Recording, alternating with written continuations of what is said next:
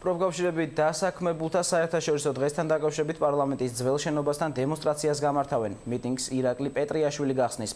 შეკრებილებს საგანგებოდ საქართველოსში მყოფი გერმანელი და ჰოლანდიელი პოლიტიკოსები მიმართავენ. მშვიდობიანი აქციის მონაწილეები საპირვო მაისო манифестს მიიღებენ, რომელიც ხელისუფლებას გადაეგზავნება.